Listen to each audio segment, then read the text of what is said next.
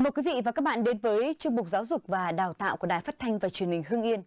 Thưa quý vị và các bạn, cứ mỗi mùa tuyển sinh cao đẳng đại học, việc thi trường gì, học ngành nào luôn được phụ huynh và học sinh quan tâm. Thực tế hiện nay không ít sinh viên tốt nghiệp đại học rất khó xin việc làm, trong khi nhiều ngành nghề vẫn thiếu nhân lực trầm trọng. Phải chăng đang tồn tại nghịch lý trong việc chọn nghề? Theo số liệu năm 2020, cả nước có hơn 895.000 thí sinh đăng ký dự thi tốt nghiệp trung học phổ thông năm học 2019-2020. Trong đó, số thí sinh đăng ký xét tuyển đại học cao đẳng là 72,5% và số thí sinh không có nhu cầu vào đại học cao đẳng chiếm tỷ lệ 27,5%. Như vậy có thể thấy, số học sinh lựa chọn học nghề sau khi tốt nghiệp trung học phổ thông vẫn chiếm tỷ lệ rất thấp là học sinh thì bọn em chưa có đủ kinh nghiệm để có thể tự mình xác định được hoặc là có được cái sự hiểu biết để biết là sang rằng là trường nào hoặc ngành nào sẽ là cái sự lựa chọn tốt nhất cho mình. Hiện nay, công tác hướng nghiệp đã được triển khai tại các nhà trường từ cuối trung học cơ sở và trong suốt những năm trung học phổ thông. Tuy nhiên, công tác hướng nghiệp vẫn còn những hạn chế nhất định nên chưa thể phân luồng học sinh một cách triệt để việc định hướng nó không thường xuyên và nó hay tập trung vào cái thời điểm cuối các em lúc mà chuẩn bị chọn cái cái cái, cái thi đại học Đấy, thi ngành nghề cho nên là ờ, cái việc định hướng nghề nghiệp thì ờ, phải định hướng dần dần nó để phát triển năng lực của bản thân ở mỗi các em Bên cạnh đó, do trình độ nhận thức của phụ huynh còn hạn chế hoặc do nhiều gia đình vẫn còn tâm lý phải vào đại học bằng mọi giá nên không ít các em học sinh đã quyết định chọn trường, chọn nghề theo tâm lý đám đông, theo sự quyết định của bố mẹ mà không căn cứ vào năng lực bản thân.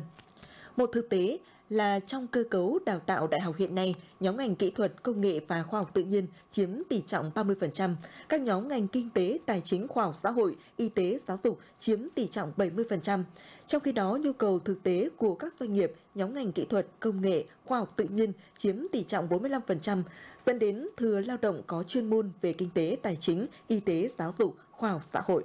Chuyện thừa thầy thiếu thợ không phải là chuyện mới mà đã diễn ra từ nhiều năm ở nhiều địa phương, nhiều ngành nghề. Ngày nay, tư duy lựa chọn học nghề sau khi tốt nghiệp trung học phổ thông đã dần thay đổi, tạo nên những kết quả đáng mừng. Anh Nguyễn Văn Hiệp ở xã Đại Tập, huyện Khói Châu có bằng cử nhân chuyên ngành sư phạm văn đã gần 10 năm nay, nhưng công việc hiện tại của anh lại không hề liên quan đến chuyên ngành anh đã được đào tạo. Ra thì khi mà các bạn học đại học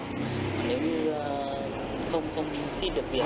thì chúng ta sẽ lãng phí rất nhiều thời gian, công sức, tiền bạc của bản thân của gia đình. Còn đây là anh Phạm Minh Tuấn, hiện là quản lý của một bộ phận sản xuất thuộc công ty trách nhiệm hữu hạn điện tử Việt Nhật. Sau khi tốt nghiệp trung học phổ thông, anh Tuấn chỉ mất 3 năm học nghề tại trường cao đẳng cơ điện và thủy lợi và khi ra trường, công ty đã nhận anh vào làm ngay. Học trường nghề, thời gian thực hành trên lớp rất là nhiều và cái quá trình làm việc sau này của chúng ta phụ thuộc rất nhiều vào cái bước thực hành chứ không phải lý thuyết suông. Một cách làm đã được các trường nghề như trường cao đẳng cơ điện và thủy lợi triển khai nhiều năm nay, đó là liên kết với doanh nghiệp trong quá trình đào tạo, giúp cho chương trình đào tạo của nhà trường bám sát thực tiễn, đáp ứng yêu cầu về tay nghề lao động của doanh nghiệp. Chúng tôi đã hợp tác với có lẽ đến gần 100 doanh nghiệp à, khu vực phía Bắc này. Doanh nghiệp thì là nơi mà để cho các em sinh viên của chúng tôi à, rèn luyện tay nghề, nâng cao cái chất lượng đào tạo. Các doanh nghiệp thì lại tham gia vào ờ, tất cả các khâu trong quá trình đào tạo, từ tuyển sinh đầu vào cho đến tổ chức đào tạo, rồi đến đầu ra học sinh sinh viên à, học tại trường sau khi tốt nghiệp à, được các cái doanh nghiệp nhận vào ờ, làm việc thì có lẽ phải đạt trên ờ, 90%. Có những nghề đạt 100%. Các em ở trường uh, trường nghề được đào tạo có một cái chất lượng uh, chắc chắn phải tốt hơn với những em chỉ có học qua các trường cao đẳng thậm chí đại học thì cũng không thể nào bằng tôi thấy đối với cái hướng đi của trường là hiệu quả và rất rất rất là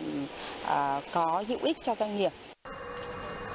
Vấn đề cốt lõi của việc chọn trường nào, ngành nghề gì chính là chọn một môi trường học tập có thể phát huy được năng lực sở trường của bản thân, phù hợp với điều kiện của gia đình, để sau khi tốt nghiệp có thể vận dụng được những kiến thức, kỹ năng đã được học. Vậy nên, tâm lý cứ học đại học mới giỏi, mới mở mày, mở mặt, còn học yếu, học kém mới học nghề đã đến lúc cần thay đổi.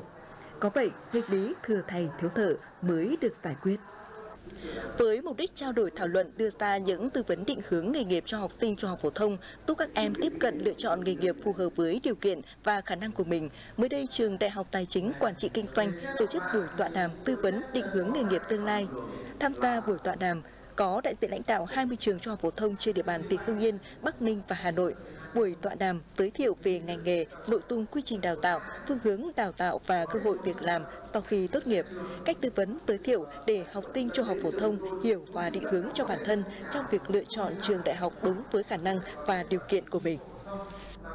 Quý vị và các bạn thân mến, từ đây chúng tôi xin kết thúc chương mục giáo dục và đào tạo của Đài Phát thanh và Truyền hình Hưng Yên. Cảm ơn quý vị và các bạn đã dành thời gian theo dõi. Xin kính chào tạm biệt.